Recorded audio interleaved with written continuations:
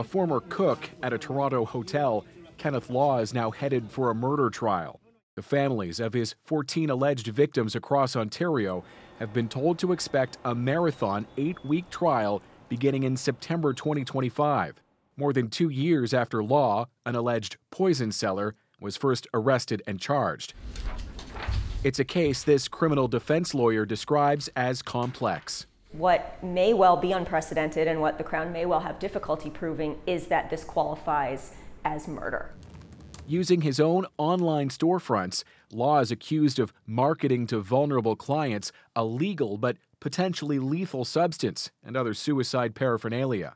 A CBC News investigation finds his products are suspected of being connected to at least 127 deaths worldwide. Adam was the loveliest soul. He was uh, very kind, very wise. 28 year old Adam Birch in England died last year.